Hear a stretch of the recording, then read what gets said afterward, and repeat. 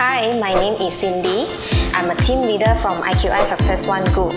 I have been into this industry for seven years, and this is the fourth year I'm with IQI.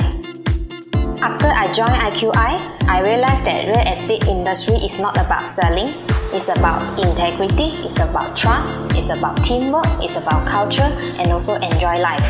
During my real estate journey, I was only doing personal sales, and this year I have started into building my own team. My goal in 2017 is to grow into a bigger team with my partner Nicholas and Davis. I would like to thank my family and husband giving me full support in real estate.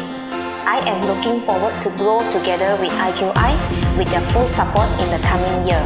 I never regret joining IQI because this has changes me to be more positive mindset and passionate into real estate.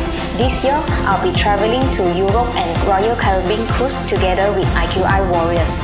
It's my pleasure and IQI truly beyond real estate. I love IQI.